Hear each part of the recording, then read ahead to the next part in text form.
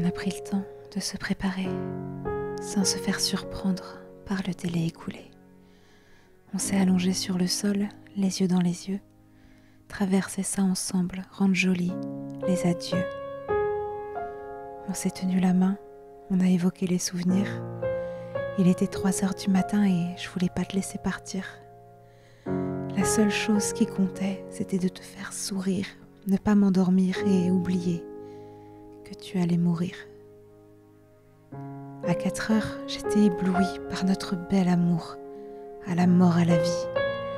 Je me demandais pour qui est-ce que ça allait être le plus gris Est-ce que c'est pour celui qui s'en va ou pour celui qui survit? Au petit matin, tu étais dans le coma. On m'a dit que tu ne me voyais plus et que tu ne m'entendais pas. La seule chose qui était sûre, c'était que tu ne souffrais pas parce que je te tenais encore dans mes bras.